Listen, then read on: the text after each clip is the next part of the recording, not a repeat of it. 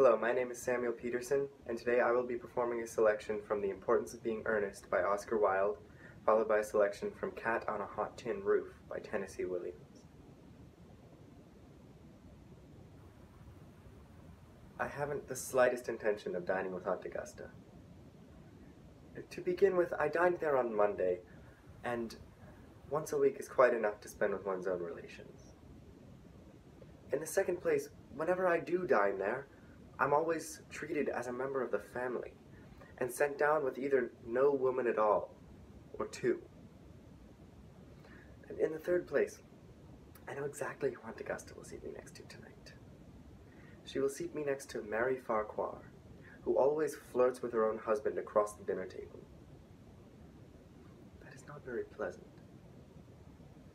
Indeed, it is not even decent. And yet that sort of behavior is enormously on the increase. The amount of women who, fl who, who flirt with their own husbands is perfectly scandalous. It looks so bad. It is simply washing one's clean linen in public.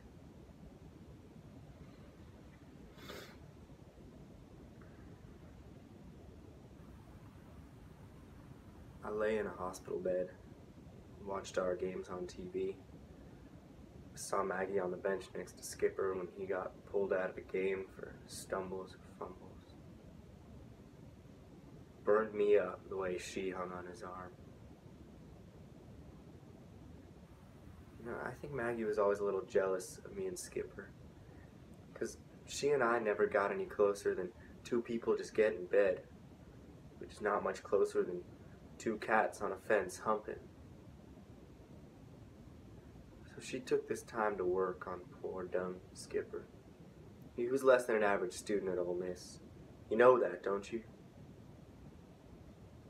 She poured into his head the dirty, false idea that what, what we had, him and me, was just some frustrated case of that old pair of sisters that used to live in this room, Jack Straw and Peter Ochello.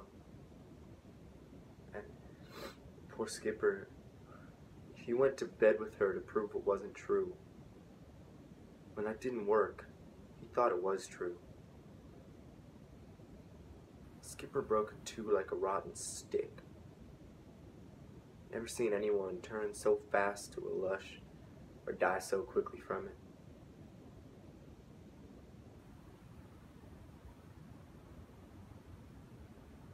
Now are you satisfied?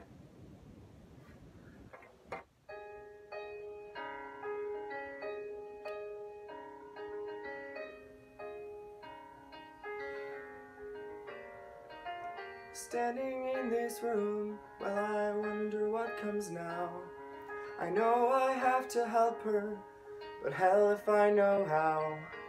And all the times that I've been told the way her illness goes The truth of it is no one really knows. And every day this act we act gets more and more absurd and all my fears just sit inside me screaming to be heard. I know they won't though, not a single word. I was here at her side when she called, when she cried. How could she leave me on my own?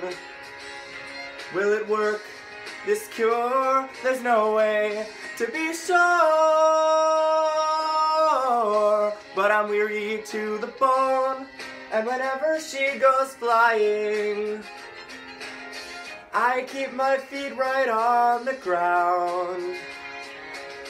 Oh, now I need a lift, and there's no one around.